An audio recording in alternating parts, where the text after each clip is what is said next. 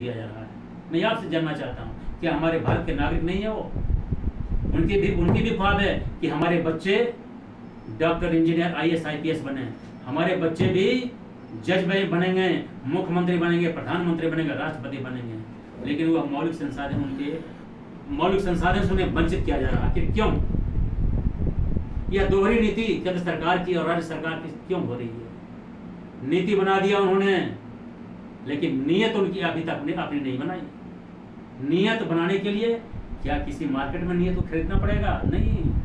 अपनी नीयत खुद बनाओ सुधारो नीयत को और नहीं भारत की 135 करोड़ जनता आपको सुधार देगी।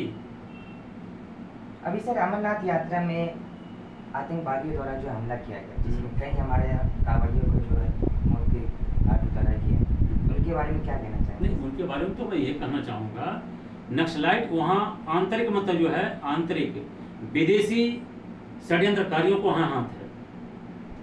विदेशी षड्यंत्रकारी के तो हाथ होने के बावजूद भी मैं मोदी सरकार से यह कहना चाहूँगा, अपने भारत की जनता से कहना चाहूँगा कि हमारे मौलिक संसाधन से वंचित कर दिया गया अपने अपने लोगों को। मुख्य मार्ग से भटक गया मुख्य मार्ग पर लाने के लिए, संविधान के मुख्य धारा में लाने के लिए। क्या उनको गोलियों की ज़रूरत पड़ेगी?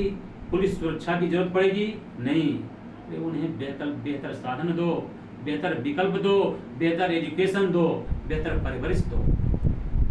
जब हम अपने बच्चे को सही वक्त पर रोटी, कपड़ा, मकान उसको उपलब्ध कराएँगे नक्सलाइट क्यों बनेगा? आतंकवादी क्यों बनेगा? एक लास्ट क्वेश्चन सर आपसे और रहेगा कि अभी तीन सर तीन साल हो चुके हैं मोदी सरकार और तीन साल के अंदर उन्होंने दो अहम फैसले ले लिए नोटबंदी का दूसरा जीएसटी का। तो आप क्या कहना चाहेंगे ये जो तीन साल के अंदर दो अहम फैसले क्या सही है गलत है? नहीं उन, उनकी फैसला वहाँ पर अपने आप सही है।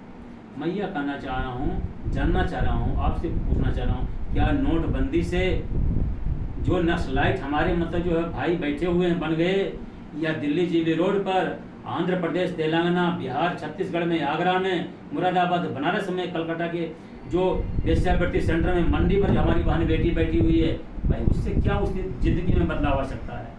जीएसटी से उसका क्या बदलाव आएगा? आप आप आप बताओ। नोटबंदी से उनके जीवन में क्या परिवर्तन आएगा? क्या उसे सुकून मिलेगा? नहीं मिलेगा। भाई, बेहतर उसकी व्यवस्था दो ना। अल्टरनेटिव विकल्प दो आप। How to lead their life